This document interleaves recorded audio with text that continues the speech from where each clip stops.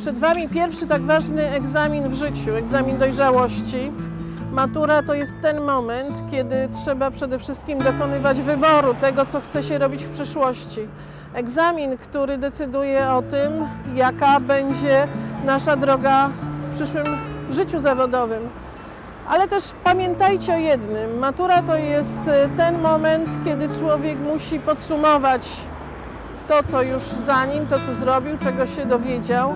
Dacie sobie z tym doskonale radę, ponieważ ciężko pracowaliście, jesteście na pewno świetnie przygotowani, ale matura to jest ten moment również, kiedy człowiek dokonuje wyboru po to, żeby realizować swoje marzenia i ambicje.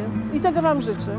Życzę Wam po pierwsze, żebyście zdali jak najlepiej, nie denerwujcie się, jesteście przygotowani, poradzicie sobie świetnie, a po drugie życzę Wam, żebyście dostali się potem na wymarzone kierunki studiów, żebyście realizowali swoje marzenia i swoje ambicje.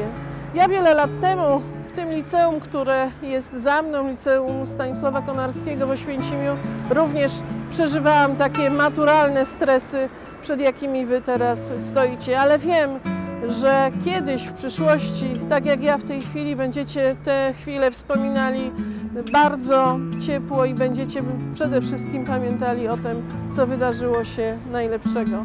Życzę Wam wszystkiego dobrego, powodzenia, trzymam kciuki, dacie radę.